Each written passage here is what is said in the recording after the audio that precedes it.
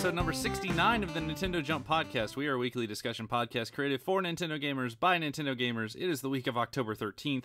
My name is Daryl, and today, as always, I'm joined by my good friend Sergio. How are you, man? Hey Daryl, it's been a like I, I would say like a bittersweet week. My computer died, Oh, no. and I had to spend a bunch of time restoring and repairing and doing things. It looks like everything is fine now, which is good. But on the flip side, I got a turntable for vinyl. So, so- oh, you got a, a record player. Nice. Okay, so real quick, completely off topic. Uh, what record is your favorite? Well, I have two, and If I made you throw away one, and the one that's in it right now, it's Ori and the Blind Forest. oh wow. Okay. Whoa. Out of That's curiosity, awesomeness. what's the other one? The other one is Perfect Dark. Oh wow. Dang. Okay, so you got a record player specifically for video game soundtracks. You're you're fun. Yes. This is awesome. I did not expect that. That's pretty good. I recommend the Undertale soundtrack. Um Mm. also, this week joining both of us. You've heard him. You love him. It's our friend Kevin. How you doing, man? Hell yeah! Doing pretty well actually. Although yesterday wasn't that great, my allergies went haywire. And but today, it's- haywire. haywire. but uh, today's a lot better. Uh, you know, as expected, I do have uh, my kombucha right right here. Uh, it's by oh shameless plug. Shout out to Camilla Grove. Excuse me, Camellia Grove with two L's. Uh, All right, so are they paying you? no, they're not paying me. Um, may hopefully, maybe someday, but we'll see. But yeah, I'm having their green, pure fermented tea kombucha, uh, tw- in 12 fluid ounces, you know, or 355 milliliters. Uh, it contains live cultures or cultures. I don't know how you say that, but you know the word. And Oh, oh my Yeah. god, I really do hope they're paying you, right?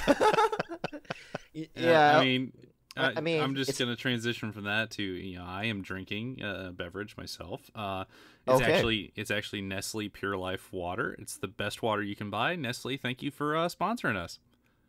I'm kidding. Nestle did not sponsor. well, you know what? I got I, before we jump into things right quick. How are you doing, Daryl? I'm okay. Uh, I, man, I, I, I'm still just kind of enjoying playing games, and it's been kind of a fun time the past few weeks. So yeah, I'm, I'm doing all right. Uh, I'm, but I'm, I'm absolutely ready for this week's podcast. And with Yeah. that in mind, Kevin, what is this week's podcast about? Well, we're gonna do on the spot. Part it's actually happening. it's actually happening the, It's the for theme real. song came back. On the spot. On You- the spot. Part We know you thought you heard that theme song for the past few weeks, but you didn't hear that one. you you, you weren't ready. Uh, also, we're gonna do some listener mail too. So, on the spot part two and listener mail. Uh, but before we do that, we're gonna do a game of the month update with Killer Queen Black.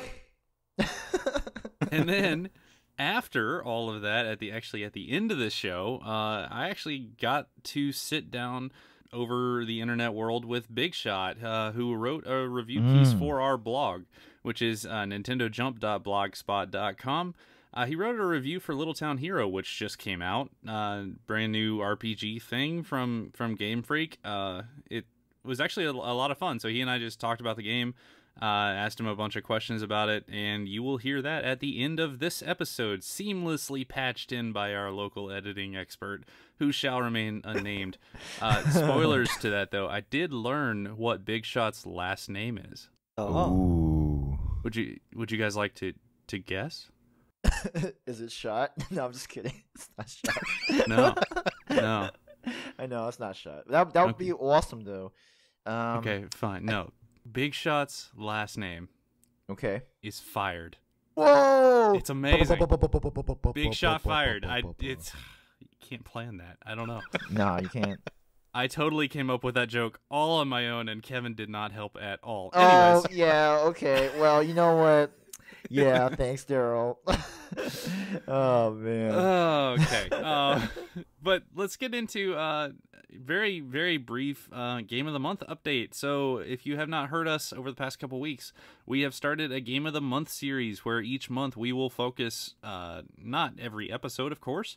But we'll give us some updates and we'll play as a community one particular game. So, the game for October, as we mentioned a minute ago, Killer Queen Black. So, Yeah. uh, this just kind of worked out as a bunch of people in our community were already uh, pretty excited for it and turns out a bunch of people in our community ended up getting it uh, to the point that we've had multiple nights since it released with like 10 people online trying to play it all at the same time so Yes. like Mhm. multiple uh, rooms open and like a full room and then somebody will drop and somebody else is like hey you got a spot it's it's awesome it's uh uh the closest comparison i have is um back when splatoon 2 came out we were doing kind of the same thing and everybody wanted to be in a rotation Oh, and, and yeah. play the game Mhm. um actually this game kind of reminds me of splatoon but uh, in the feeling of how it's being played uh, in particular so you guys actually have both picked it up uh, i don't really need to talk too much about it but you know and and obviously a full review is coming at the end of the month so we're gonna hold off for full review but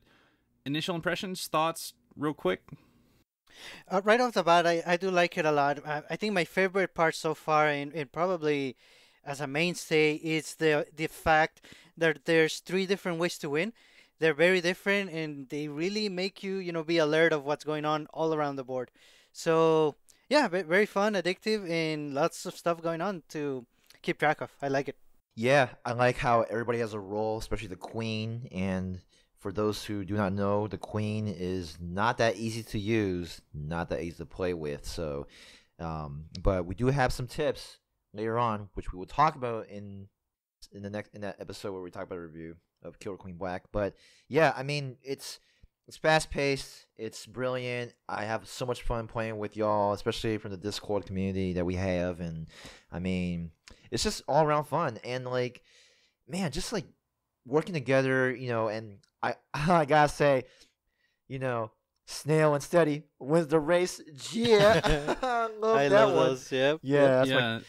So i mean sergio alluded to it there's three different ways to win. You can win any of these ways on any map at any time if you actually fulfill the this um, the criteria. One is and i'll get it right this time. Uh killing the uh, enemy queen three times that's pretty straightforward. Uh without getting your own queen killed three times obviously. Uh, another one is to fill all of your open spots in your hive with berries, which are found around the level, and the workers can carry back up to the hive or they can throw them. Um, and the other is for a worker to jump on a snail that is somewhere in the center of the map and move it all the way back to their goal. Uh, and it moves slow, and they're very vulnerable during that time. But you're juggling these three win conditions, and like you said, that is a lot to keep uh, track of. So I mean, we've had a, a bunch of wins where, uh, like, our team or the other team honestly did not know what was happening, and all of a sudden the game's over, and you're like, oh, dang, because you're like you're like zoned in on filling your own berries, and you're not even noticing that the snail is is moving, that kind of thing. Um, so I I asked this on Twitter, but you guys can chime in too. What is your favorite way to win the game? man the snail that's my favorite i mean you know as much as i think killing the queen three times is awesome and all and you know the economic victory is is a very sneaky way. I think the snail way is like it just has that swagger like oh yeah i'm gonna you know snail and steady win the race sort of thing. And it's just nice because then you know like you know it's coming. You know it's coming. The train is coming. And you know you have like a warrior like guarding the snail with the guy or thing like or the excuse me the worker you know hopefully they have the speed ability and a berry carried and you know it's going just trying to cross the finish line. And then you have like and all of a sudden oh my god like all the like the opponent workers and the queen are trying to you know stop it. But nah you got the warrior you got you know different support like workers and stuff. I mean it's just i think it's just fun. And then like at the same time you try to have to juggle right because you don't want the queen to die right? Because you it, it's like it's like it's like this amazing mayhem of things that I just cannot contain. Like This I, was one question, Kevin. I know. What was but- your favorite way to win? You said It's the- snail, right? It's a snail, but I just I had to get into it. You know, you know, for me, All right, I, Sergio, what is your favorite way to win? The snail is very tempting, but I'm actually I think I'm gonna go with economy because I like the fact Mm. that you really have to uh, work as a team on that one. You have to pay attention and make sure that at least ideally two people are you know working on getting the berries to the hive. So yeah, economy. I think it's like the most surprising of the wins. Oh, it is Mm. for sure. Uh, my my personal favorite way is is actually a little bit more specific than this. Um, I like for the team to drive snail, which creates a lot of pressure on the other queen to come and attack the snail to stop it from progressing. And when she does, I like having a soldier or our queen posted right there. So she attacks, we attack, she dies.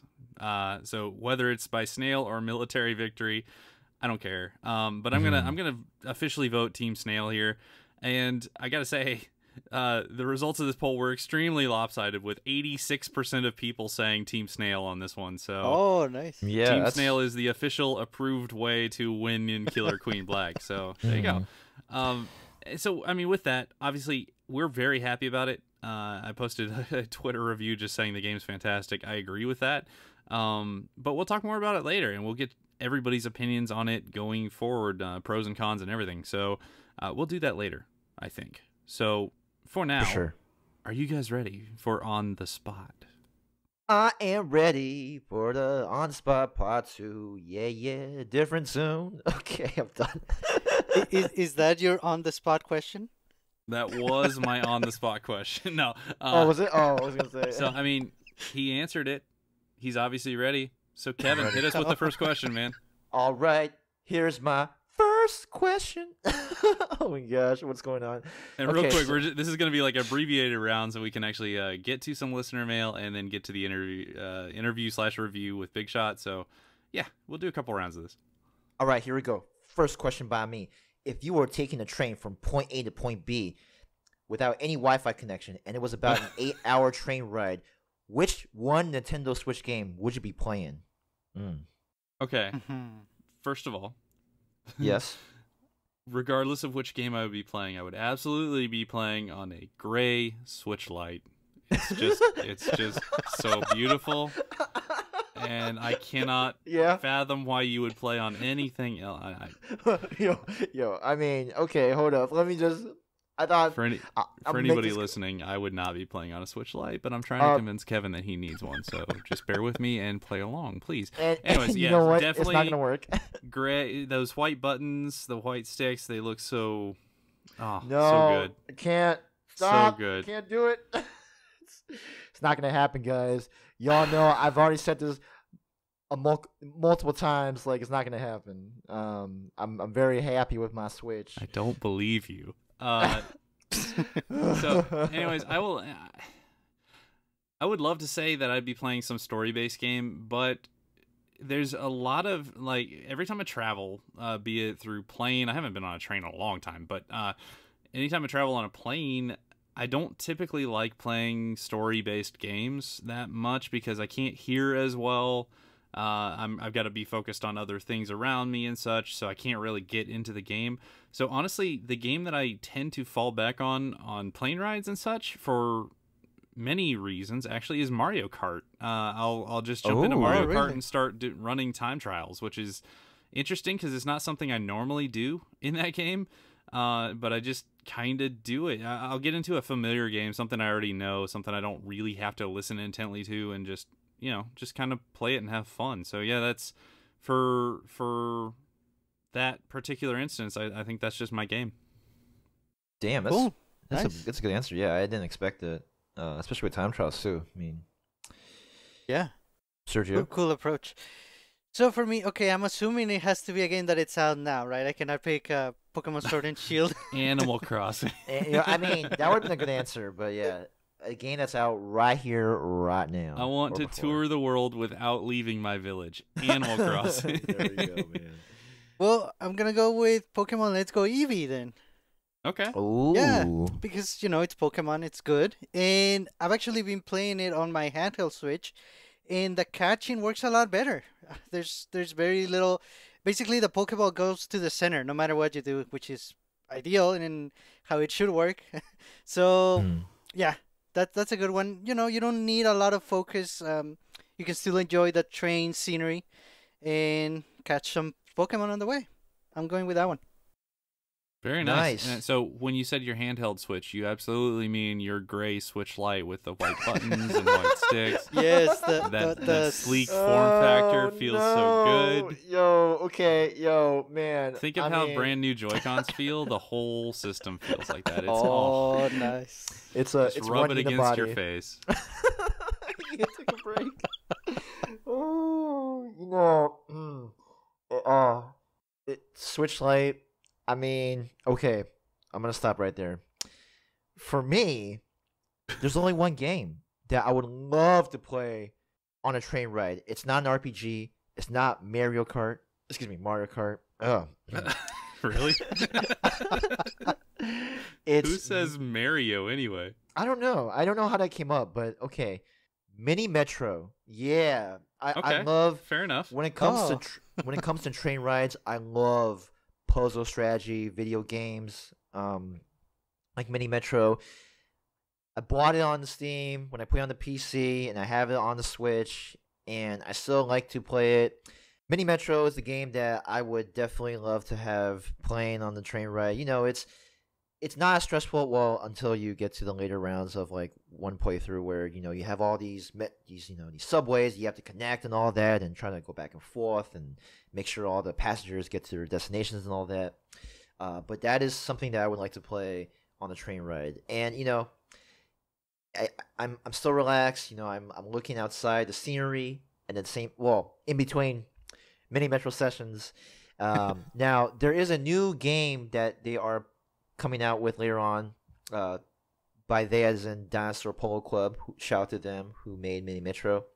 Uh, they have a game coming out called Mini Motorways. Now I don't know when it's coming out, but I am very very much wanting to play it. Um, you know, it looks really good. It, it it adds a bit more to it. You know, with like different highways and all that. So yeah, Mini Motor. That's what I'm gonna go for. Nice. Or sorry, Mini Metro. So you like you like it on Switch? I do. I think it's it's the perfect place to play it on the Switch. You know, it's the music is very ambient, it's quiet.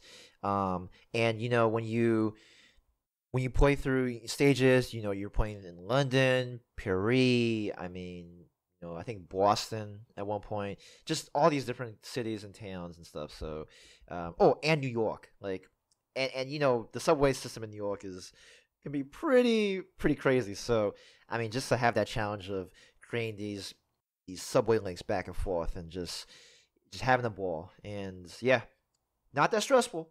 Still relax, uh, but at the same time, perfect place to play on a train between for eight hours. Hell yeah, Nice. yeah. Very cool. Okay. Um that I actually love little games like that too. So that that that would be one that I might pull myself. So yeah, that there you go. Um Hell yeah. Sergio, you got a question on deck? Yes. So you all know my my love for Animal Crossing as a series, and Really? yeah, really. And you know what happens when when like people ask me what's your favorite game, what's what do you consider to be the best game? I often don't include Animal Crossing because what happens is that Animal Crossing becomes something else. I like honestly, it transcends games to me. It's more than a game. I always say Animal Crossing is an experience. And I was wondering what game or what series does that to you? Something that becomes more than a game, it becomes an experience, it becomes something far bigger than just a regular game. I mean, I mean, we all know it, they're just games, video games. But there's got to be a special game or a series that goes beyond that for you guys. What is it? well, that's a that's a that's a deep question. Hmm. A game that is beyond the game. It's an experience. Hmm.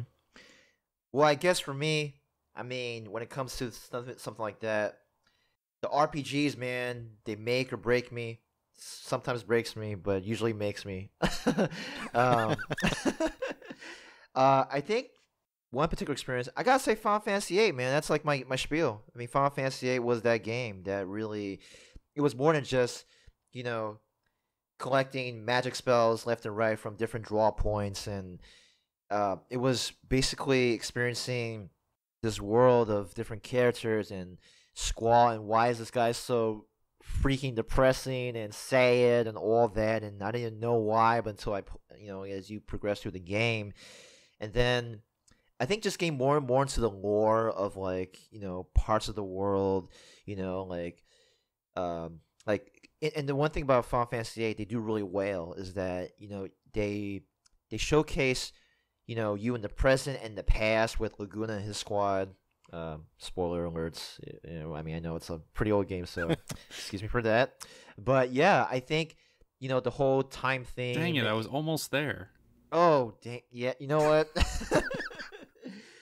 so yeah, I I think Final Fantasy is is that kind of experience. Like I was I was so obsessed with Final Fantasy VIII back in the day that you know I got these like awesome like these action figures of Seifer Almasy, which is like, you know, one of the antagonists, and Squall Heart. And boy, I don't know where they are right now. I think they're somewhere at my family place back home, but I mean, yo, like that was it for me, man. It was it was the first Final Fantasy I ever played. It was one nice. of the very first introductions to what a role playing game is for me. What and... does it mean to play a role? well, shout out to Octopath Traveler trailer. I'm sorry. yeah, and that's also an awesome game that has the NJP seal approval. Anyway, so back to Final Fantasy VIII. You know, it, it, it was just a big experience. Um, granted, I did not buy it on the Switch.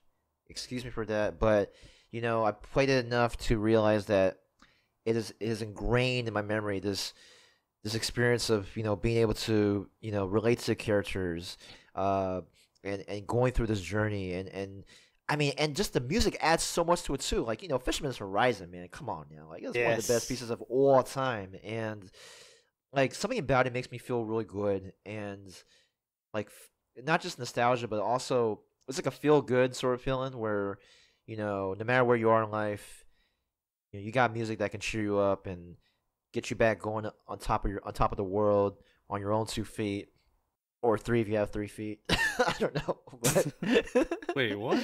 I, I don't know.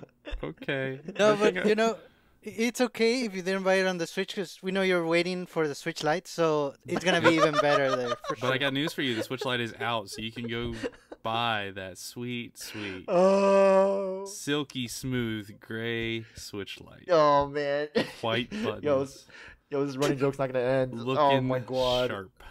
okay. Um, yeah. So I'm gonna I'm gonna go ahead and answer the question. so go for it. I've got two main answers, probably some more, but uh, two main answers depending on how I want to answer the question, and I think I'm just gonna go with both. Uh, so first one uh, is an actually an experience outside of video games, and that would absolutely be Smash Brothers. Um, so nice. Super Smash Brothers has oh. led. I've talked about it a lot, right? So I don't really need to go too far into it, but it's led me to some of my closest friends. It's led me to uh, kind of who I am right now. It indirectly led me to marrying uh, my my wife. Uh, so yeah, I mean, as far as games that became an experience for me, uh, Smash Brothers is mostly an experience for me. I, I enjoy the game. Don't get me wrong, but um, yeah, playing it with people in tournaments and building community and such. Yeah, that's a huge part of my history because of that game. So, got to go with that. Um, secondly, mm. uh, from one game I talk about a ton to another game I talk about a ton, uh, Celeste. Uh, I can't separate the game there from the experience I had when playing the game. So, yeah, I gotta gotta say um, Celeste for the single player experience and Smash for the community experience. Yeah. Oh, nice. nice. Awesome. No, actually, that's a good point you made because then, I mean, you know, with in terms of the community, I mean, we've we've had games like Mario Kart and Splatoon that we play with our community, and it's just been an amazing experience, uh, top to bottom. So, um, it's one that that's our honorable mention. Playing games with our Discord community, that is amazing. For sure. the, it it's made certain games just better for me. Like, uh, for example, Killer Queen. There you go. Yes. All right. So I think it's time for my question, actually. Uh, so I'm gonna go with who do you think is the deepest or most interesting Nintendo-owned video game character? Mm. Oh. Most interesting. Damn. This one took me a little bit to uh, to think of even even mine. So I I can go ahead if you guys want to kind of think about it. Yeah, go for it. Yeah. hmm So yeah, I I've thought about it a lot, and there's a bunch of characters that I love. There, there's a bunch of games that I love. Um, but if I'm talking about most interesting character that they've ever made, I think I have to go with Zelda from Breath of the Wild. Uh, and I've I've mentioned this before, but I think that that character goes through a range of emotional complexity that is built on the history of the Zelda series that you don't have to have that experience, but if you do, it just enriches it. Uh, because you've seen past Zeldas just be awesome and be instantly awesome, and you you watch this one be unable to fulfill what she thinks she needs to fulfill for most of the game, and things go really bad, and she has to deal with it, and you kind of watch it through her. That entire game was built around her for me, uh, and I mean, for a game entitled The Legend of Zelda, yeah, that this is Mm. about as close to it, uh, about as close to that title as I've ever seen in the series, for sure. Um, so yeah, I think you know it kind of surprised me because Zelda is usually just kind of a bland character to me. Um, but Breath of the Wild Zelda is that's like next level Nintendo writing, and I was really happy with it. Yeah, I can see that, and especially when you play Breath of the Wild and you uncover these, you know, sort of memories, and then you see glimpses of Zelda going through her, her struggles and pains and all that. Like, I, I can see why that would be your choice. Um, it- I mean, man, that's kudos to the the game writers who um wrote that Zelda character in Breath of the Wild. I mean, it's man, And I gotta say, she's a large part of the reason I'm hyped for Breath of the Wild too. like just Mhm. flat out. Hopefully, she doesn't just like disappear the whole game.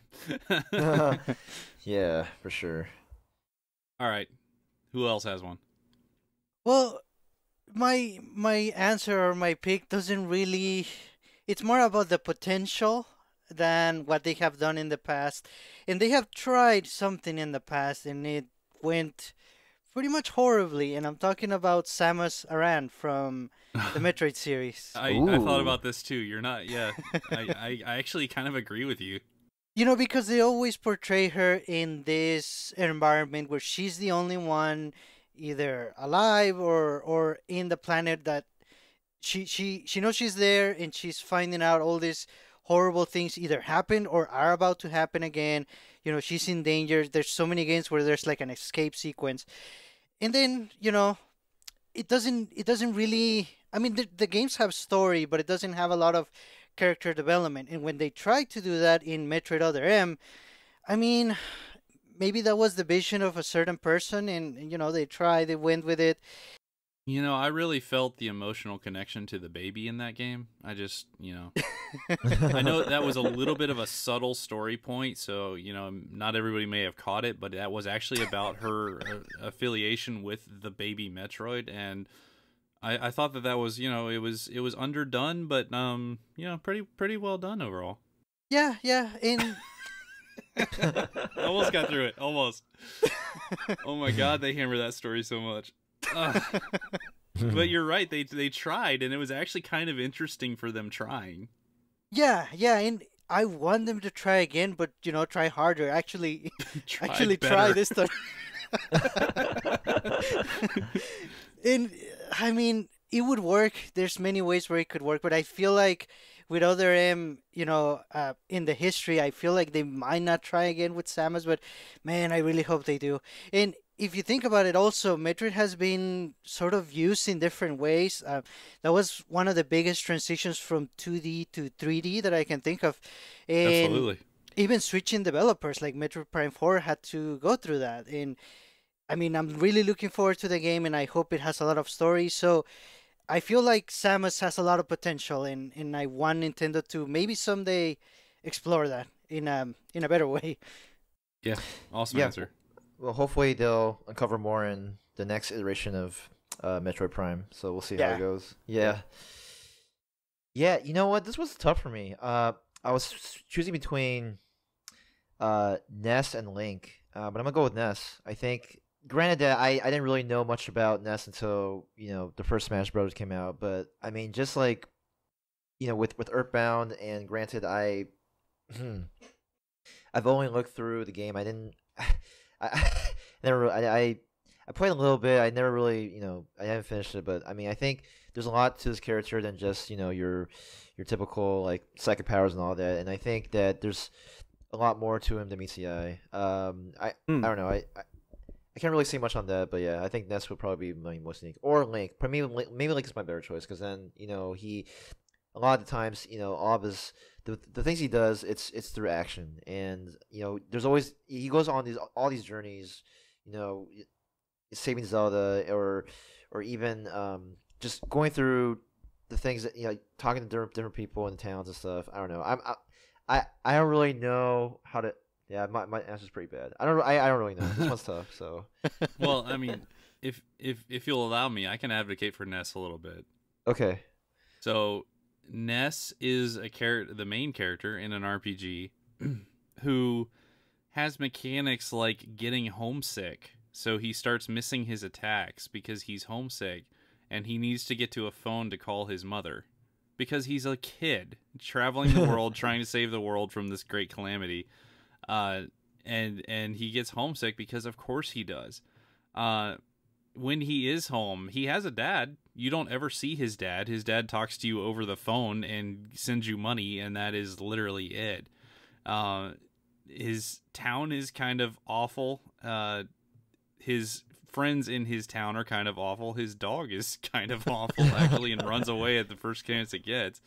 Uh, and he goes on his own journey, keeps his, his sense of family as, as much as he has and goes around meets these new friends and eventually goes uh, through all these crazy places that you know could not exist in our world but uh, just kind of make sense in his world. And through the you know the the trademark uh, power of friendship actually ends up saving the world. So i mean yeah i can i can make a, a decent story for ness here. I think he is a very interesting character for uh for the silent protagonist type yo thanks for saving my answer there you go yeah I, I apologize like i i didn't really know how to elaborate because i mean You were just I- trying to. Th- you spent most of that time just trying to think why Captain Falcon is interesting, and you didn't come up with anything. no you know because for That's me like sad.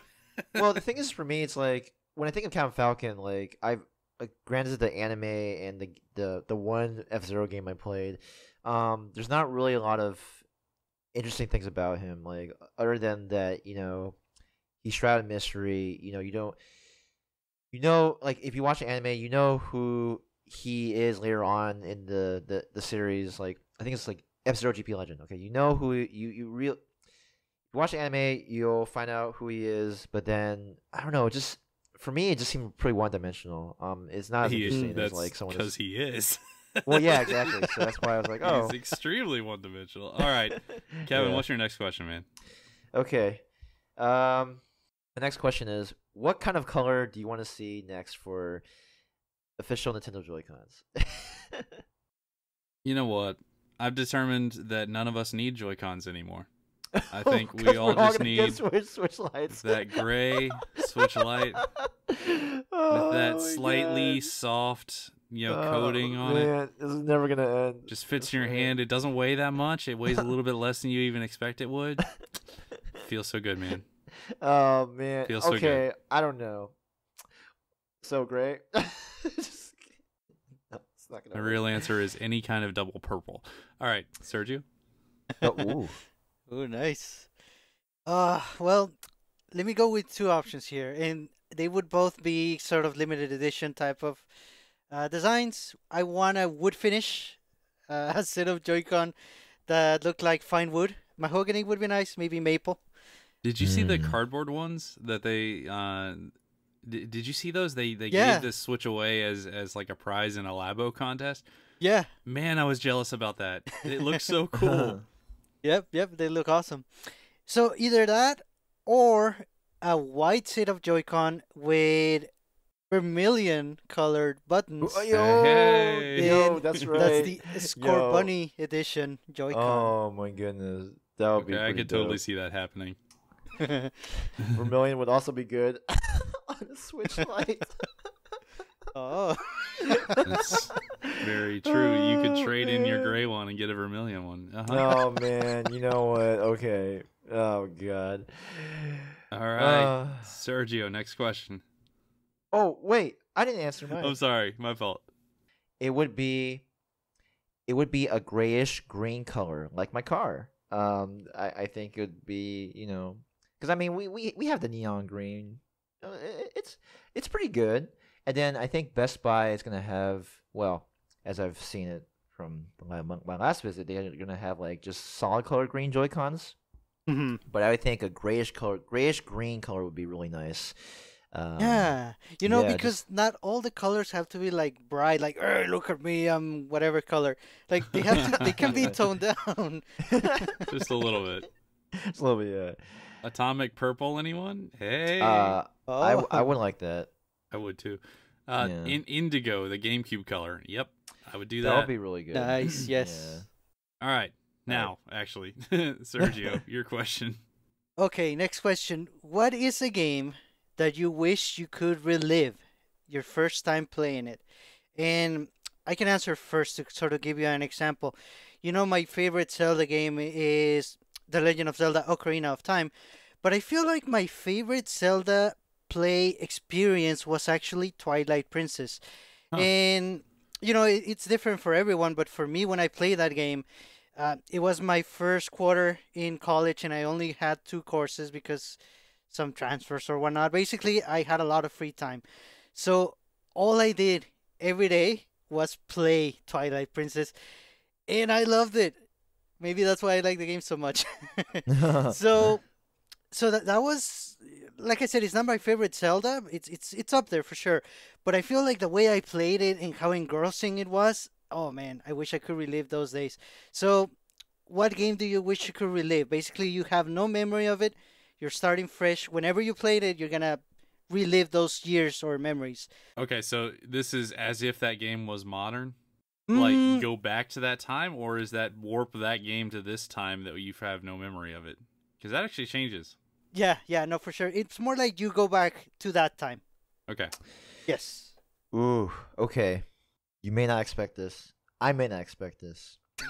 Wait, what? Po- Pokemon Blue. I would, yeah. Oh. Pokemon Blue. I would love to, you know, relive again. I, I think you know it's it's interesting because like when I first started playing that game.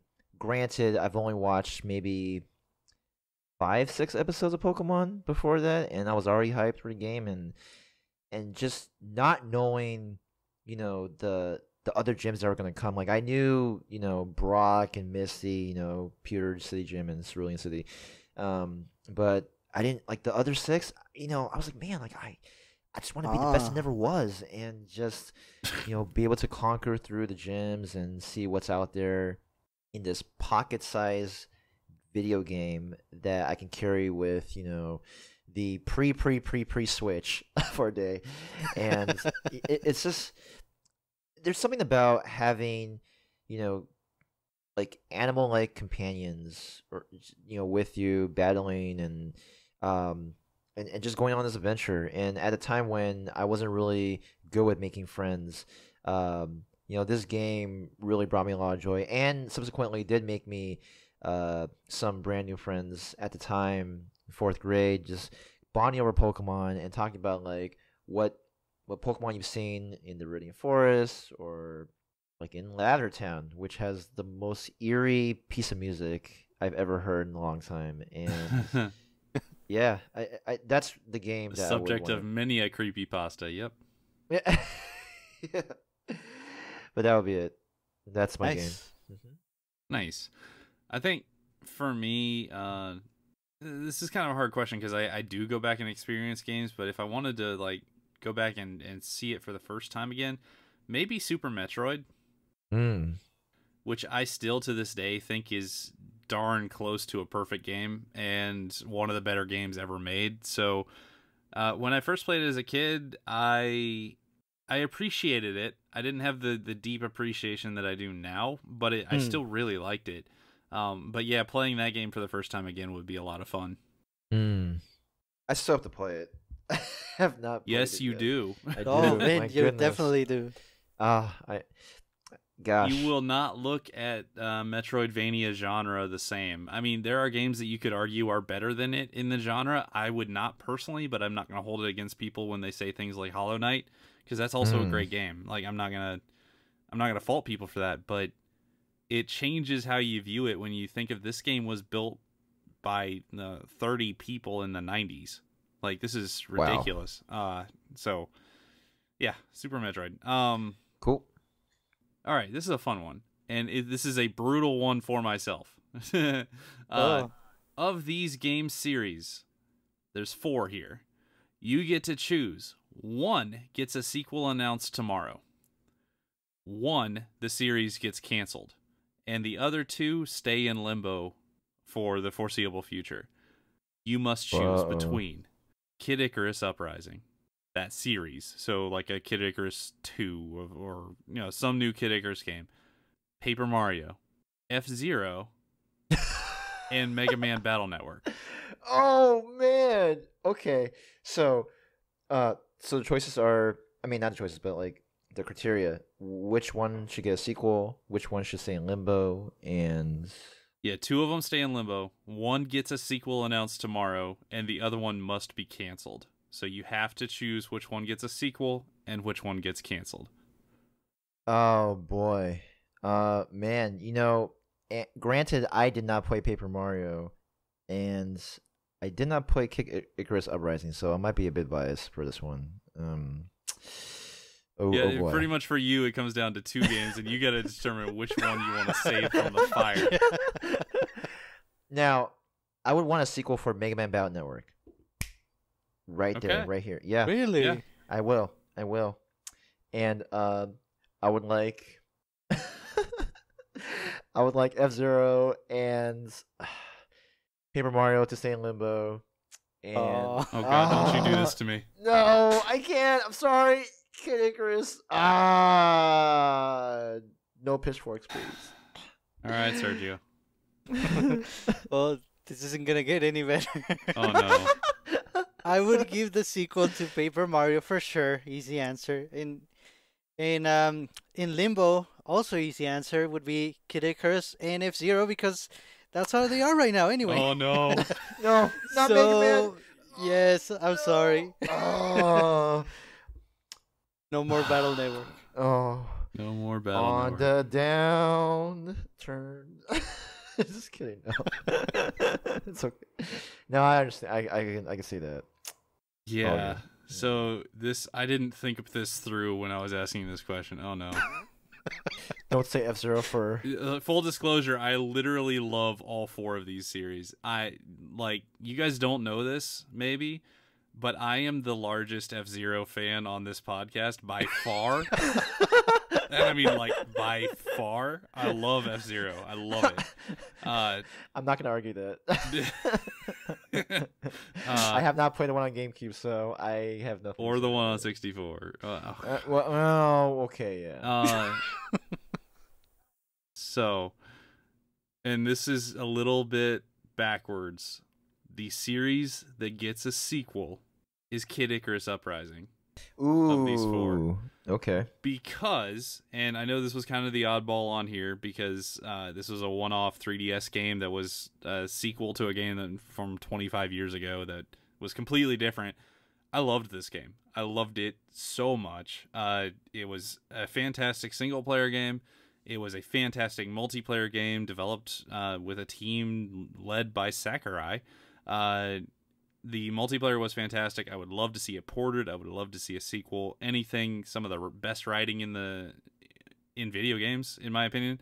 Um, it was all cheesy and uh, voice acted and annoying at times, and just hilarious. I loved it. Um, Mhm. So Kid Icarus gets a sequel. Oh God. Um, Here we go. I hate to do this. I really do. no, no. The the Oh, no. series that I'm going to cancel is Mega Man Battle Network. Oh goodness. oh man. that really hurts.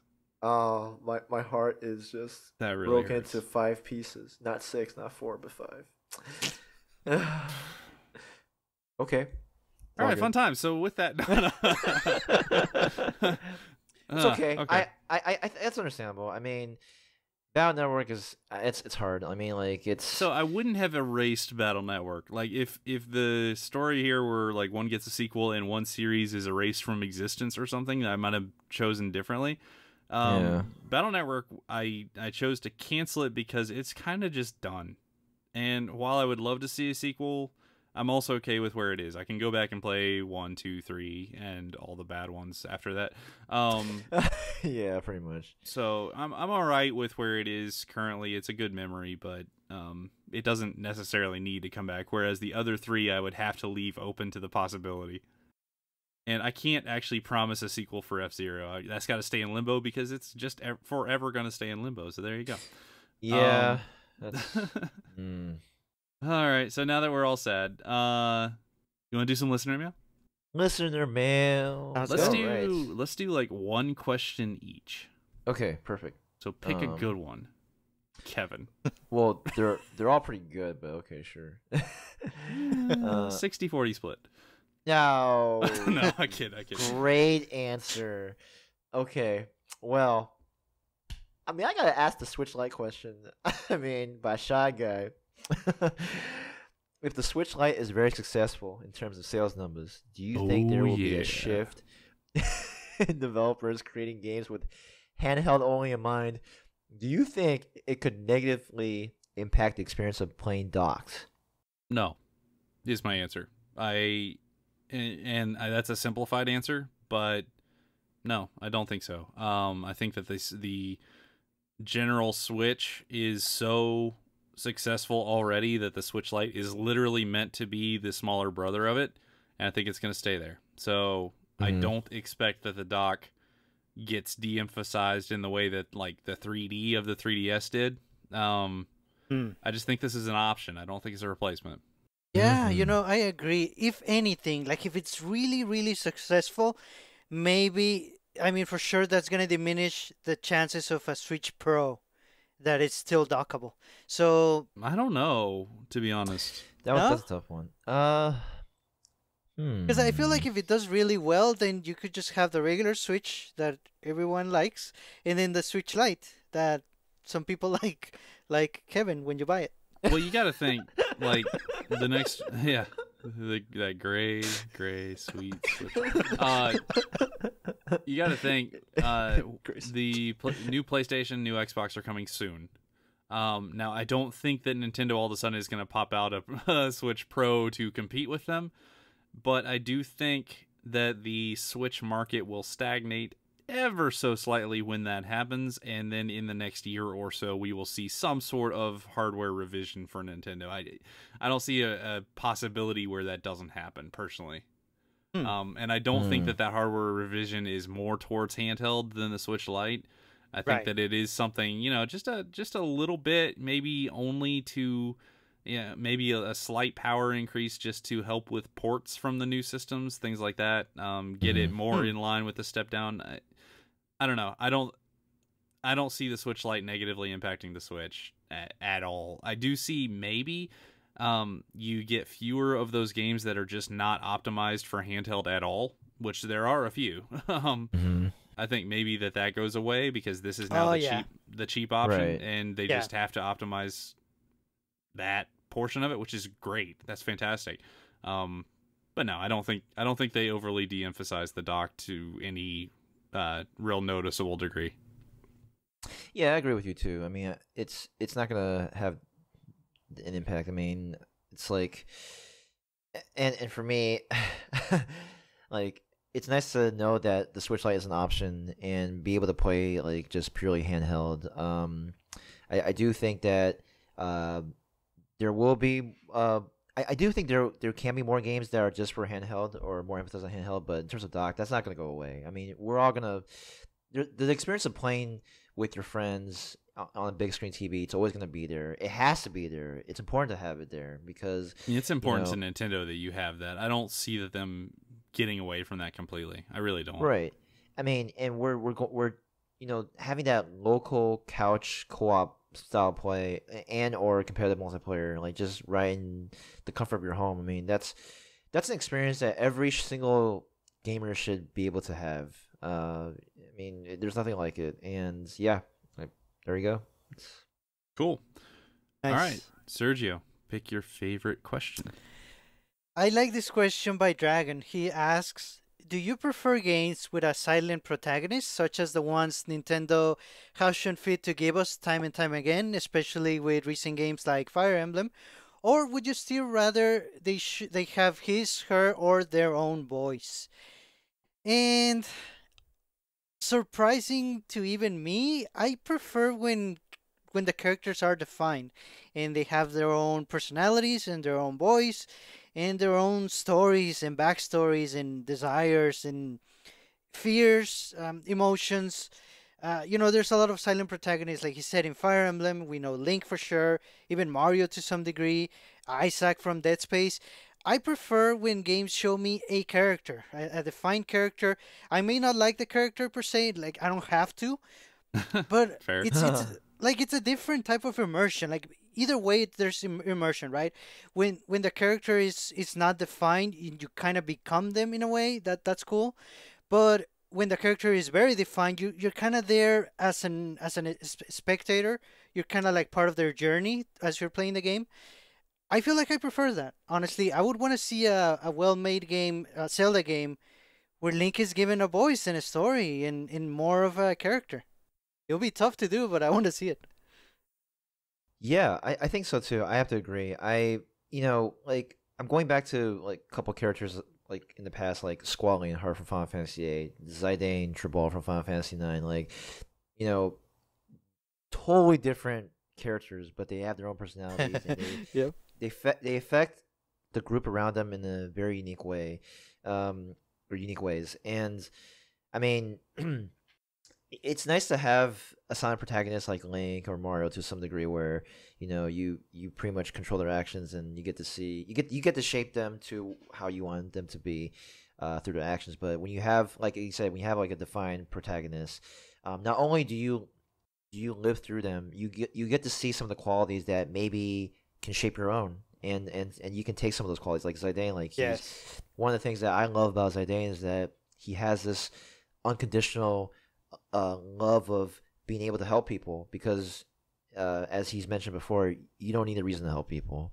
Um, such a very simple, powerful statement that has you know um, that I've I've kept in my heart for for the longest of times. and Still, still has, and I- I think there having a voice like that matters. And I think you know w- when you have those sort of things happen with a character, it, it, it makes a profound impact on on our lives and, and how we play games and how we view games. So I gotta say that, yeah. Yeah, so th- this might actually also be kind of surprising for me. I actively don't like silent protagonists. Um, oh, wow. Mm-hmm. uh, in in games, and uh, let me explain that a little bit. Um, first of all, you guys both mentioned Link from Zelda. Link is like the least silent silent protagonist of all time. Like, yeah, he doesn't literally talk and come out and say, "Well, excuse me" or anything like that. uh, at least not in anything uh, relevant. But uh, he still has personality. Like he does not exactly this, but he does the equivalent of looking at the camera and shrugging when something goes funny. He is a funny character. Uh, especially in the iterations like you know think back to Ocarina of Time when young Link runs away from the Gorons trying to hug him. Uh, think back to Wind Waker when he's strapped to a cannon about to be shot uh, into the Forsaken Fortress, and he goes through these uh, hilarious facial animations and emotions and and fear and such. Like Link is a very very well defined character who just doesn't talk, and I'm okay with that. So to me, that's not. When I think of somebody like a, a silent protagonist, I think, um, I'm thinking more like Byleth from uh, Fire Emblem Three Houses, or more like uh, the hero from from Dragon Quest. Characters that literally do not talk, like don't really show emotion, don't really like you're supposed to experience the world through them and and insert yourself on this character. I don't like it uh, because what it always leads to, and Mario does this a lot too, is instead of just talking and giving that character a personality, um, which Mario has a personality. I'm not saying that. Um, you get a lot of like these weird little pantomime things in these games where like other characters will be talking and then this character is just kind of like like gesturing with his hands and not saying anything. Mario does this a lot. Like where he and Peach neither one can officially like say anything, so they all just make like you know, oh wahoo, you know, and that's this is this is the world that they live in. Uh, and then they all just kind of like do this weird little pantomime act thing and then smile at the end and rub the back of their head or something. I've always thought that was awkward. I really do, and it's just like I don't know what we're. I, I don't know. Um, mm. I don't even know exactly where I'm going with it, but uh, I do think that if it's done well, a silent protagonist is passable and even okay. I can, you know, I'm all right with a silent protagonist. Um, but if it's not done really well, it gets awkward in a hurry. And just overall in games, I think they're better off giving their characters some personality. You know, if you don't want them to talk, fair enough. If you don't want to give them a voice, fair enough. Do the, you know, do the Link road of at least injecting some personality into this character. You cannot look at Link's Awakening and tell me that character doesn't have its own personality. You know? Yeah, no, that's a good point, and it, I I think it's a case by case basis, honestly, because when you look at sign protagonists, like I can talk about Blue from Pokemon Blue. you know, he doesn't say a single word. All, oh, yeah. The focus is on Pokemon, and I think it depends on the sh- the focus of the game. You know, if the focus is not on a silent protagonist like Blue, where you know it's all about the Pokemon that you catch and and and train and master and you know be able to fight for you. Um, I, I think that's fine, but right, like when you have like Hero or like Mario, I mean it it, it, it, it does it, like you said it gets kind of pantomime and it, it, it does kind of get annoying at times and you're just trying to see if maybe you can learn from that person's pers- that character's personality or things like that so um, I'm, I'm yeah. literally trying to draw out the character's personality most of the time, and I don't. I just get nothing. Like I'm yeah, just like, tough, yeah, yeah, uh, yeah. So, so I don't know. I prefer. I like I've thought this for a while with Fire Emblem. I would honestly prefer going away from the the my my unit type character for a little while, mm-hmm.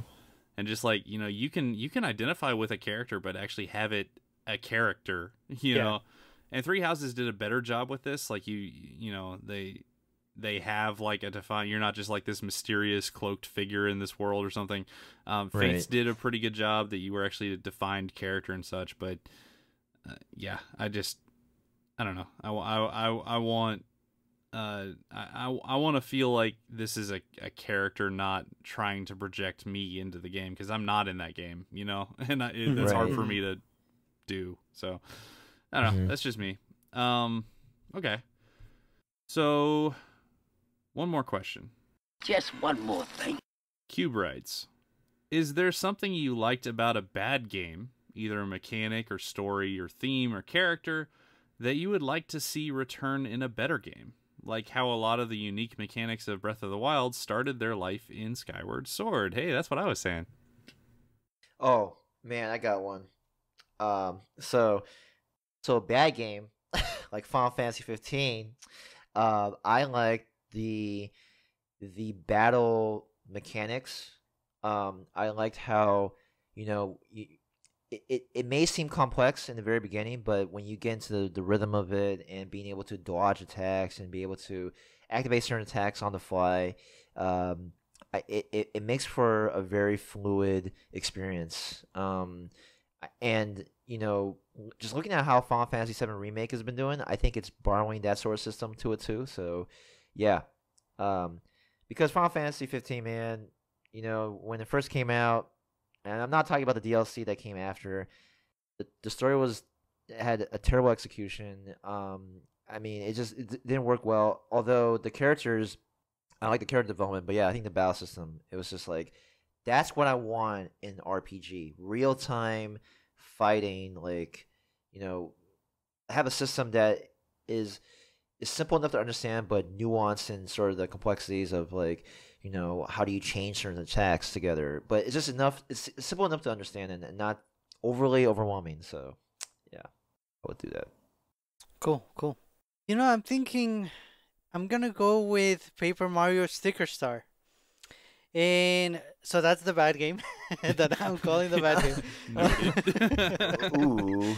But I do like some parts of it, and I do hope they come back for a main actual RPG Paper Mario game because I feel like Sticker Star has like a more defined world. It has more like more papery atmosphere and it has more silliness to it, I think. And it also has it's like a better presented game if that makes sense. I feel like this um not the story, no. The the world is better in the music. And I mean of course definitely the graphics. It's a it's been a a bunch of years since the the Paper Mario and the GameCube, right? but I feel like the the presentation and the the approach to Paper Mario, like you can even have things that you can collect and use in the world for puzzles. I like that, but I definitely want them to bring all of that into the core RPG series that most Paper Mario fans like. I feel like that would be a good compromise. Even the stickers, like that could work as part of the RPG battle system. I, I want them to do that. Mm. Yeah, I I actually agree with a with a lot of that. Uh, Sticker Star was not. It was a nice setting. Like it it was a really well designed, you know, present presented game. Yes. Um, it just had a lot of mechanical problems. So, uh, other than that, yeah, there was a lot of goodness there for sure. Yeah. Um, and then I mean, we're gonna uh, so we're gonna mention this game twice in a podcast, which I don't think you should ever do. So you know, everybody brace yourselves for a second. Okay, I'm gonna go with Metroid Other M. Uh, oh. hey, I did I did warn you guys. Uh, I almost did too. I'm gonna go, and I liked the points that you made about the actual story of that game, but I'm not gonna do that.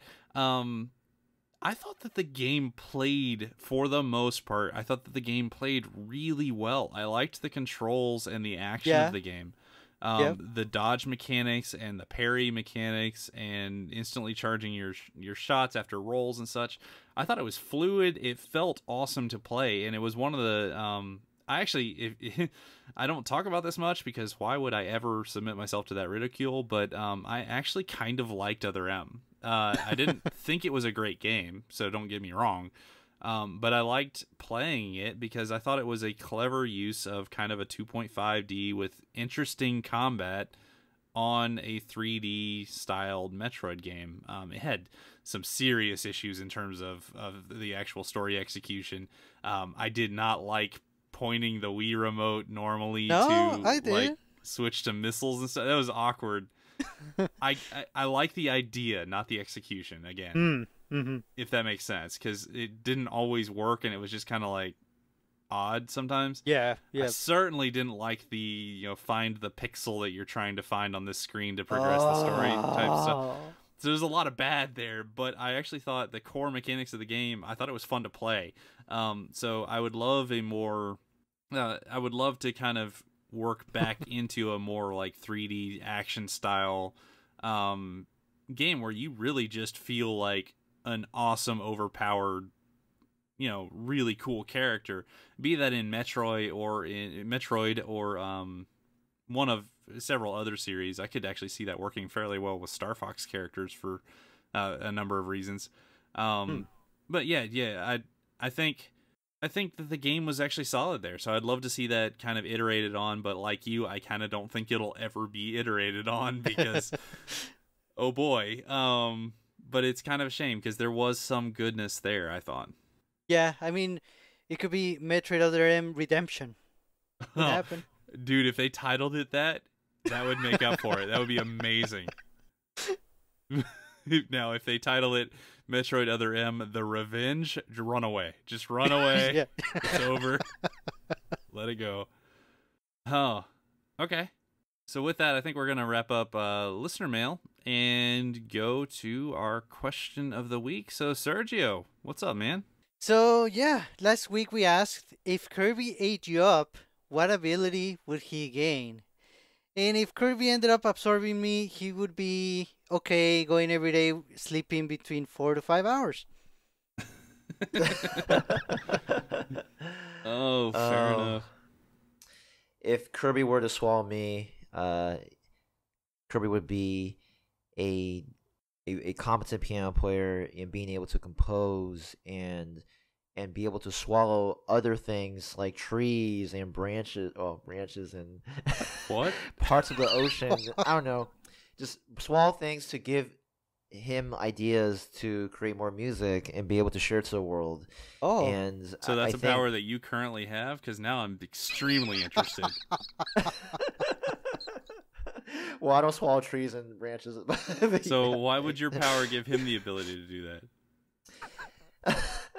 well, I mean, I well, realize I'm overthinking this, but I'm really intrigued. Well, I, I, I think it's well. This is something that you know I've I've I've had for for a long time. You know, being able to you know like something that I've really treasured. You know, playing piano, um, being able to compose, uh, being able to put myself out there, and and you know like the way that Kirby swallows things. Uh, one thing comes to my mind: uh, adaptation. And I think for me, uh, as especially as a musician, I think I've been able to adapt to different situations and environments where I'm able to come up with different things, different tunes, the way it sounds, how it plays, the melodies, the nuances of the way I play. Um, and I think that you know Kirby can can take that sort of um, it, it it- it's by by the way it's it's not like a talent it's it's just something that I've been able to build up for a long time and so I think if Kirby is able to you know swallow that sort of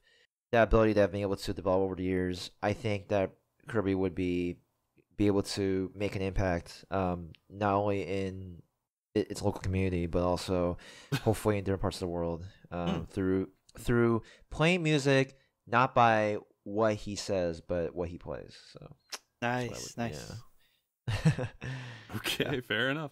Uh, for me, I I want you to think. So when I walk, when I play a game, or when I walk in a room, or when I I look at a situation, I tend to just kind of stop and analyze what I'm looking at and move on. So it. And you know, before I start making decisions, I, I try to like you know get a good analysis of where I am, what's going on, what's most likely to happen, that kind of thing. So I'm kind of thinking that Kirby gets the scan beam from Metroid Prime, like just literally gets the scan beam and is able to scan things. I don't really know what benefit that would give him. so I'm not sure that I would be any of those good powers, but that would be mine, I think. Ah, nice. that's a good one Ooh. scam beam Cool. Uh, we do have some answers from uh, our Discord community. God, I hope so.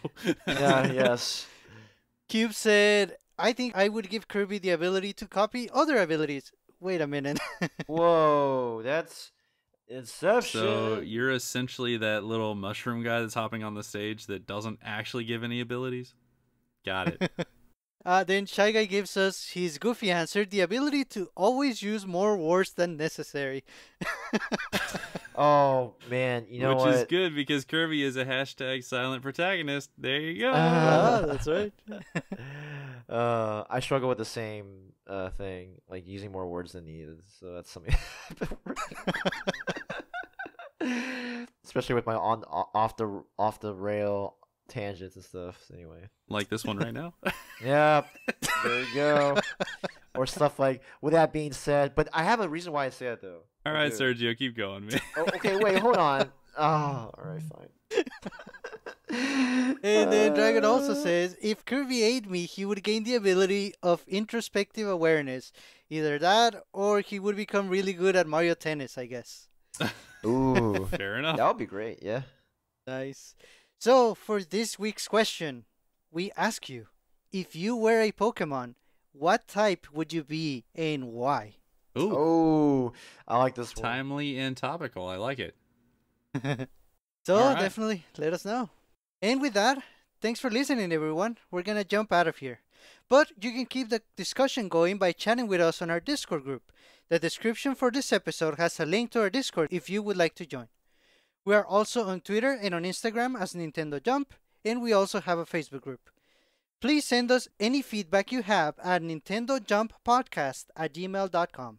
The best way to support this show is through our Patreon page, which is patreon.com slash Nintendo Jump, or by leaving a review for this show in your favorite podcast app. We would really appreciate it. This is Sergio, and on behalf of Daryl and Kevin, thank you for listening. We hope you have a great week. Bye bye. And now, stay tuned for a special one-on-one with Daryl with Big Shot. Fired. Fired. Fired. Bye, everybody. Bye, everybody. I was trying to figure out what to say or hum, but then I got thrown off by the the big shot introduction. Big shot fired. So that's all I got. Fair enough. Bye. Okay. Bye. Hello and welcome to an exciting episode of One on One with Daryl. Today I am joined by a good friend of the show and special guest, Big Shot. How you doing, man? Doing pretty well. How about yourself?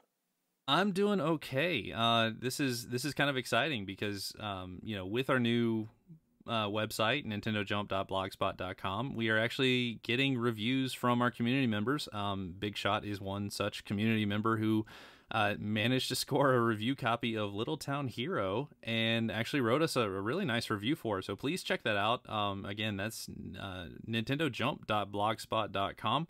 Um, but we definitely wanted to bring you on and, and actually have a chance to talk about the game. So, I mean, you know, what were your first of all, you know, what was your overall thought? And what score did you give it? Did you like it? You know, give me give me some of that. Definitely. So, overall, I decided to give the game a score of 7 out of 10. And my reasoning for that score was it's very creative in the way that it looks at a genre that's kind of redundant in RPGs because you see so often an RPG span for 60 plus hours, you're wandering across a map with your party and you're running into the same enemy over and over and you're just kind of spamming attacks. and so what I really enjoyed about Little Town Hero is it kind of takes all those things that you kind of expect to be in an RPG and you turn around and just totally invent a whole new experience. And we'll go into that a little more as we kind of carry on with this um, one-on-one discussion. But that's what really um, caught my attention with this game and why I gave it such a positive score. And there are a couple things that we'll go into that knocked off a couple points from the score that I wanted to give it. But overall, I felt really solid about a seven just because it's a really solid and innovative experience. Yeah, so I mean, for those of you listening, a seven, we, we are currently using the IGN scale, which a seven would be great. So I mean, this is this is what you would call a great game. That's awesome to hear, um, especially for kind of a, a smaller uh, project. It, it's kind of interesting. It's a smaller project coming from Game Freak uh, right before Pokemon comes, uh, which is, uh, I, I, guess that was a little surprising for me the the timing on that. Um, but it, it sounds like it sounds cool that you actually really liked it. So, um, you know, what can you tell me about like? You, you said it kind of flips some of the uh, standards of the genre on its head. What can you tell me like the the setting, like the the world? You know, what are you actually doing in this game? Yeah, so the overall setting and kind of the main pull for this game is that it takes place entirely inside of this little town, hence the title Little Town Hero. And so you're following this young boy Axe and his group of friends and their adventures inside of this town. And so they've lived their entire life inside this town. They can't go outside the gates because there are monsters out there. So Axe and his friends are trying to desperately prove by defeating monsters that they're able to go out outside the gates and explore and see what else the world has to offer. So this town actually isn't too crammed. I kind of expect, you know, a couple huts, a couple houses, maybe like a blacksmith or a general market, but there's actually quite a bit going on in this town. There's a farm, a cemetery, a cemetery there's housing, there's a waterfall, there's a lot going on in this little town. There's a huge castle, a watchtower, all these Oh, different cool. things going on. And so you really don't feel crammed like I thought I would initially. And so that's something that I really appreciated about the game. But at the same time, you never felt overwhelmed about where you needed to go. You didn't have to constantly open the map. Um, so even though it is a small town, it does still offer functionality like fast travel, which was really nice. Be able to get around to the different locations that you needed to go to kind of progress the story. That's the overall setting.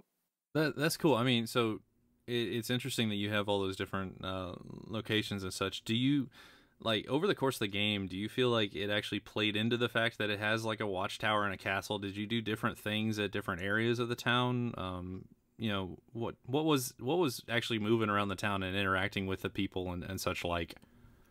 Yeah, it was really neat. Um, each character kind of had their own different part of the map that they hung out in. So you eventually befriend someone that runs the farm or someone that works in the factory. And so you're constantly moving around the map to interact with those different characters there. And that may be for a side quest, it may be to progress the main story.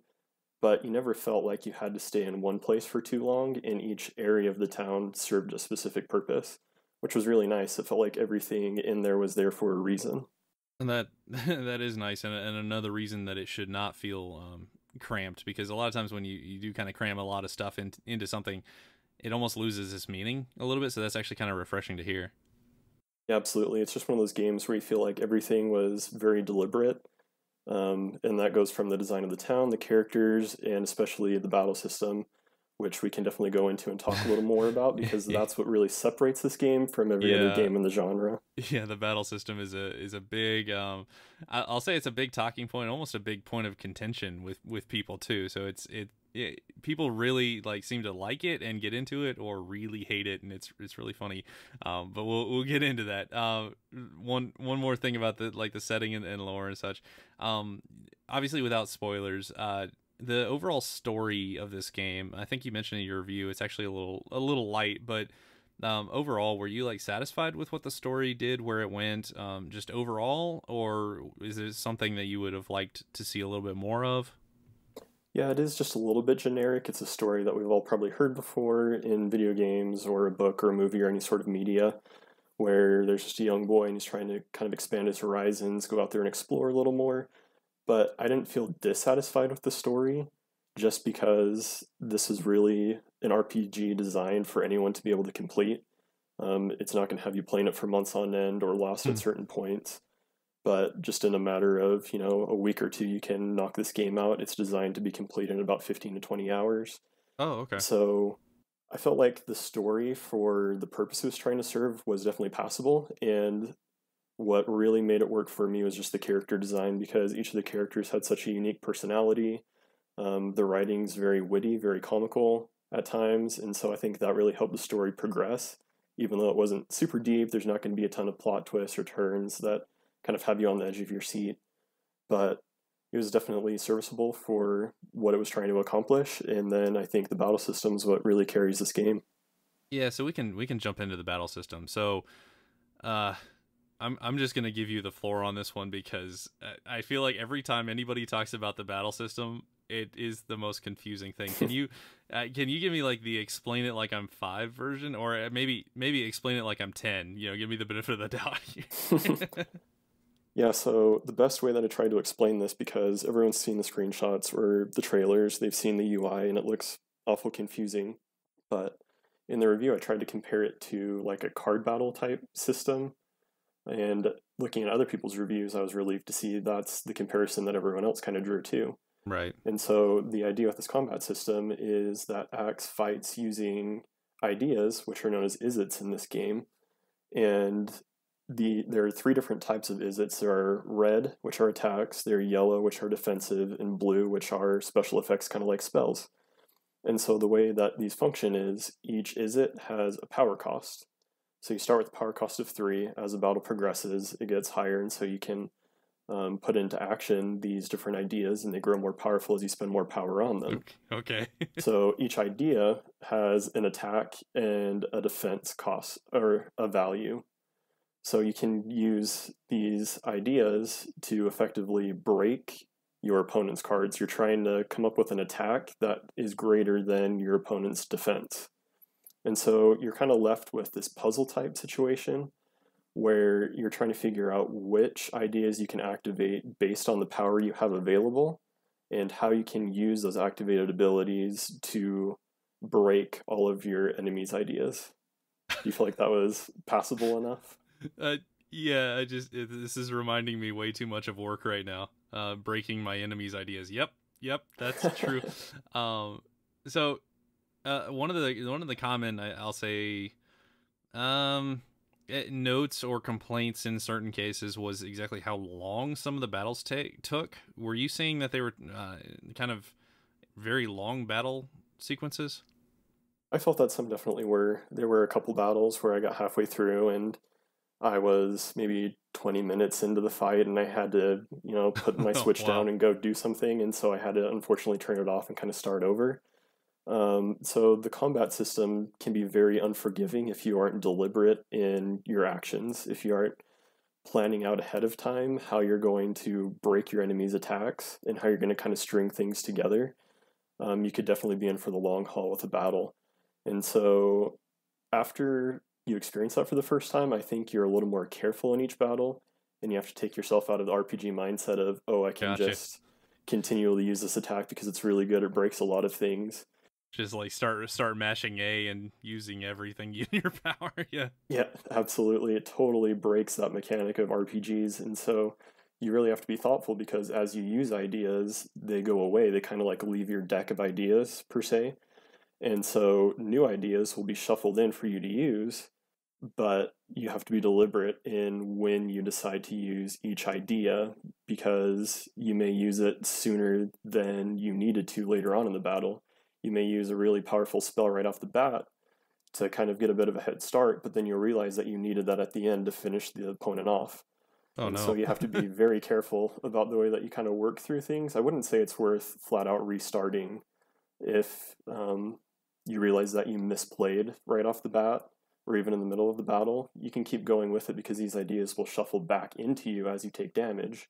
But you definitely have to be careful about the way that you play them, or the combat time can kind of get away from you and get out of hand. Gotcha. Uh, now, of the different, uh, there's a bunch of different uh, enemies and bosses, both the the town, uh, other like people and actual monsters. Um, how varied did you think the different bosses were? Like, did every battle kind of feel similar, or were there some big strategy changes? You know, what what, what did you see on that?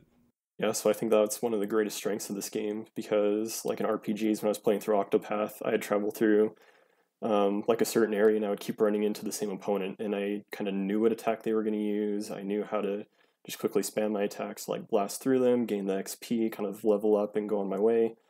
But with Little Town Hero, there are no random encounters because there's not an overworld that you explore. Every encounter is story driven, every encounter is meaningful, and so each design of the monster is very unique. And I noticed that their attacks really played off of the character design. And so it just kind of made the character feel complete instead of them coming up with the character and then just throwing random ideas to it. They Hmm. really took the time to sit down and realize okay, this is the kind of um, powerful spell or attack or defense that this specific monster would use. And so I felt that each monster had their own specific attacks and spells, and so I had to adjust accordingly. Some you had to be very defensive and wait for a weak spot to open. Others you just had to be total aggro, try to take them down early before they get that powerful spell ready to use on you. And so I think that really carries over from Game Freak designing Pokemon characters because these Sure. monsters, while they are larger, they're kind of like um, oversized Pokemon. They, which you know is a thing now in yeah, it's actually canon now. Yeah. so would you Yeah. say these are Dynamax or Gigantamax style Pokemon? Uh, definitely Dynamax. The Okay. Gigantamax are kind of scary. Yeah, a little bit. Um, so did you have uh like let's let's not turn too far into spoilers, but did you have uh like a favorite enemy or you know somebody that was just really cool to you at the time, or were they all just kind of cool? Um, there's a really cool encounter in a graveyard, and I'll kind of leave it at that for those that pick up the game and decide to play through. Oh, nice. That um, encounter is a little challenging. It took me a couple attempts to get through, but I felt like the design was really solid, and the attacks and effects that it had were very convincing as well. Nice. Yeah, you, I mean, you mentioned the the different enemies feeling different, and um, really, a couple RPGs do come to mind. The one of the other ones actually would be Octopath, uh, but not the main like enemy characters, the the random battles. The bosses all had different strategies and such, and that was something I really appreciated about that game. Um, the the really great RPGs are the ones that you you actually kind of need to think about how to uh, approach, and this sounds like like 100% that, which is pretty cool to see. It definitely is. At face value, it's certainly an RPG. It's got all those mechanics, even though it doesn't have the traditional um, leveling up. It's got no leveling system for the players. Um, it doesn't have any shopping. You don't have to constantly grind for gold and then go buy 99 health potions at the store.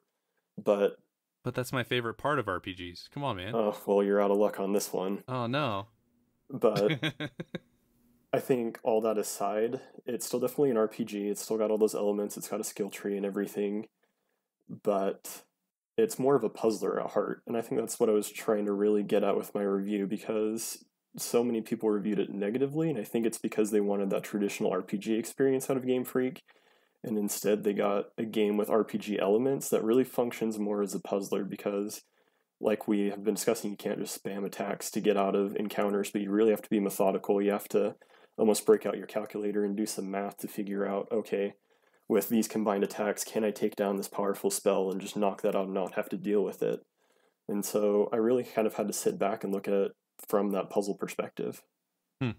That's that's interesting. And yeah, I saw a bunch of people almost going into this expecting Pokemon, which uh, to me was kind of insane because Game Freak actually has done other games. I mean, uh, between like HarmoKnight and uh, Pocket Card Jockey and a few others, I mean, they they get outside that mold fairly, you know, every once in a while at least.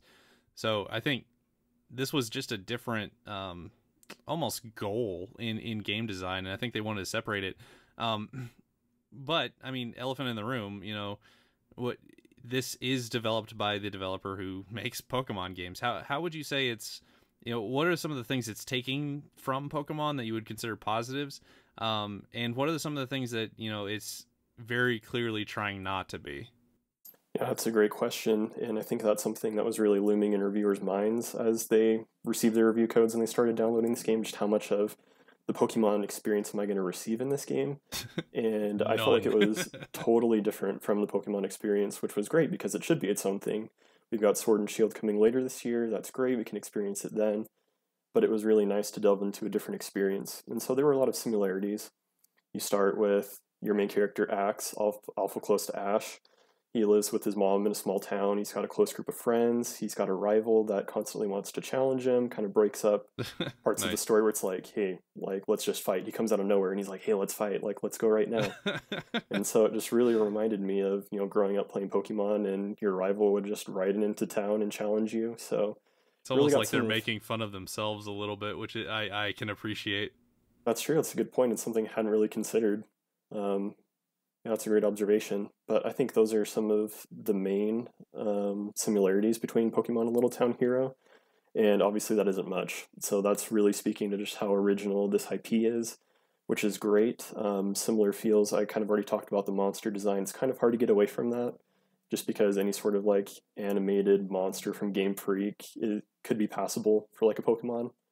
Mhm. Um, but yeah, all those similarities, and then the differences really just comes from the unique battle system and more side quests, kind of the RPG elements that come in with like skill trees, side quests, um, different things like that that really set them apart from the main franchise of Pokemon. Yeah, gotcha. Um, so I mean, I think I think that's probably about as well as we're gonna do on the battle system. Um, unfortunately, by text, uh, the best I can say is you know, play it, try it, or watch videos, and and maybe you'll understand. Um, it is Yep. cool looking. I've I've watched some videos on the strategies and such, and it looks it looks interesting for sure. Um, I can definitely see what you're saying. Yeah, there's a lot to it. I'm just going to end on this. Um, there are different parts besides just the combat that we had explained with activating ideas and using them in battle, Sure. kind of like paying a mana cost and then using a card in the card battle system. Because um, there's also like a board that you would move around, kind of like Mario Mario Party style. Oh right, yeah, we almost missed after- that. After each turn, you generate a number one through four, and you decide how you're going to move around the map. And so, different spots, um, you could land on a support space where one of your um, town mates will assist you, and each one has a special ability. They may heal you, they may attack the monster, they may provide you with a new idea for combat or point out a weakness for the monster. yeah, So there are a lot of different layers in combat, but what I love about the game is it doesn't just have you drink from the fire hose right off the bat. A lot of these things aren't even available at the start of the game, but they've kind of got you on a drip line where they each combat they introduce a new idea or a new mechanic in battle. And they make it very deliberate and the mechanic that they introduce really turns that battle for you and so it almost acts as a tutorial for the first three or four combats where they're just introducing these new ideas to you um, so it just kind of blends in and you kind of pick it up bit by bit instead of all at once so in that way it's not super overwhelming Oh, that's awesome. Uh, okay. Um, so obviously, from the outset, uh, we know a cou- we knew a couple things about the game. One, it looks phenomenal. the, I'm re- really happy with the art style. And two, the music was composed by Toby Fox, who was responsible for uh, the game and music of of Undertale. Um, how would you call you know what would you say about the presentation of the game? Did it meet what you were hoping for? Did it exceed it, or or you know what were your feelings?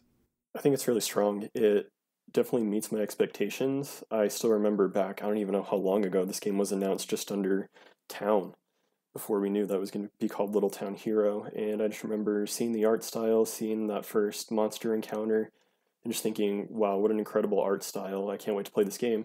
And that really carried throughout the game. I never really got over just how beautiful the game was, especially in handheld mode. Still looks great docked, but I just preferred to play this game handheld. It was just a more intimate experience. So uh, Kevin really needs to download it on his Switch Lite because I think that's the perfect way to play it. yes, perfect. Okay, um, and then finally, I mean, so you've been you've been really positive on it here. Um, how do I, how do I want to phrase this? Let me. Uh, are there some things you were looking for in the game that it didn't uh, give you? Some things you think it could have done better, maybe that you'd be looking for in like a Little Town Hero two or or something? You know, what are some negatives? Is kind of what I'm saying. Yeah, so I guess I'm kind of looking at the battle system and drawing the parallel to like a card battle system. You can't decide which ideas to take in or out of like your effectively deck, Oh, where gotcha. these ideas are shuffled to you. Um, you keep the same ideas throughout the game, and I kind of wish that as you were going through different side quests or meeting characters, like they can give you ideas as you're going into battle, but I kind of wish um, I helped someone and they provided me with an idea like in a side quest, and I was able to add that to my deck. Or maybe we do have like an idea shop, and I'm able to go maybe to like a university or school and learn some sort of new idea to integrate into my deck. Or maybe I hate a card and I want to remove it because I'm trying to strategize how to best take down um, the enemy that I'm facing. I saw from a lot of different interviews that one of the main points that people didn't enjoy about the game, and it's a valid point, is all the RNG, because these ideas are randomly kind of shuffled out to you during your turn, and there's the whole board mechanic at the end of each turn where you just kind of feel, despite your best planning and efforts to coordinate an attack, um, it's still kind of left to chance. And so I think that's something that I'd really like to see tightened up if this game were to get a sequel. Just put a little more power in the player's hands and allow them to customize the ideas that they go into battle with. Yeah, that makes that makes a lot of sense actually. Um, it, almost almost too much sense, huh? Anyways, um, so I mean, I guess you know, final words for now. Uh, ultimately, this game is currently out on the eShop for twenty four ninety nine, if I'm remembering right. Um, at that price, uh, who would you recommend it to, and you know, how strongly would you recommend it? Yeah, so I recommend it to anyone that enjoys a puzzling experience, um, someone that enjoys RPGs but has noticed that they have a hard time completing them, and just anyone looking for something that they haven't experienced before. I think it's so easy to constantly purchase and download games and have them be an awful similar experience. I promise you that you haven't played a game like Little Town Hero before. So if you take the chance and you download it and you play it, I don't think you'll be disappointed in the uniqueness of the gameplay. So I definitely recommend it. I gave it a 7 out of 10, which we said earlier. Good game. Um, it definitely has its flaws, its drawbacks. Those are kind of highlighted in other people's reviews. I kind of focused on the positives and trying to explain the battle system. I know we weren't able to go super in depth in that in this interview, so hopefully you can go read the written review on yeah, the blog. please, please go Just check try it to out. understand a little more, check out the screenshots because it can be a little convoluted. So I think that's the best way to kind of understand it is just read through that review once or twice. But definitely a solid game, recommended to those types of players. And uh, yeah, definitely go check it out. It's out right now. Awesome. Well, I mean, BIGsh0t, thank you for uh, coming on and, and telling us all of that. Uh, definitely looking forward to uh, at, at least hearing more opinions on it, uh, especially as it gets in the hands of players. I, I feel like that generally um, kind of better uh, gives the message when it actually gets in the hands of people. Sometimes um, games get a little crazy reviewed here and there. So uh, I'm, I'm glad to hear that you enjoyed it. That's that's awesome. Um, before I let you go, uh, did you have any other comments, words for um, Kevin or Sergio who could not join us tonight, or or me? oh man, I just wanted to uh, reach out and say that despite Sergio's opinions, Kingdom Hearts is one of the greatest video game franchises of all time, and Animal Crossing is half the game that Kingdom Hearts is. And I'm just gonna leave it at that. oh my god. okay, fair fair enough, Sergio. Please don't cut this out. Oh man, I just wanted to uh, reach out and say that Animal Crossing is one of the greatest video game franchises of all time, and Kingdom Hearts is half the game that Little Town Hero is, and I'm just gonna leave it at that. And you know, finally, I think you probably thought you got off the hook on this. You didn't. Uh, you are now on the spot. What is your favorite Switch game, Mr. BIGsh0t? Oh man, dropping on me right at the end. Oh yeah. I was expecting this interview to start with that question, so uh, oh yeah, kind of caught me by surprise. It wouldn't be on the spot otherwise. And the the question is my favorite game, not the best game, right? Yeah, your favorite. Okay, so I have to go with Smash just because whenever I have half an hour of free time and I try to consider um, which game on Switch to play, that's definitely the go to. It's just so easy to pick up and play. The amount of fighters is just incredible this time around. So definitely going with Smash, but I will say that Fire Emblem Three Houses could make a serious case for my favorite Switch game. I'm only about 15 to 20 hours in my first playthrough with Blue Lions. But okay. yeah, I think it can make a serious run. I'm really enjoying it, but right now I definitely have to go with Smash just because of the multiplayer aspect. Absolutely. Both awesome choices. All right. Um I think that's probably going to do it. Uh, BIGsh0t, thank you again for coming on. Uh, and, you know, we will definitely catch you in the community. Everybody else, please go check out his review. Uh, again, once more, that's nintendojump.blogspot.com. Thanks so much. Thanks for having me.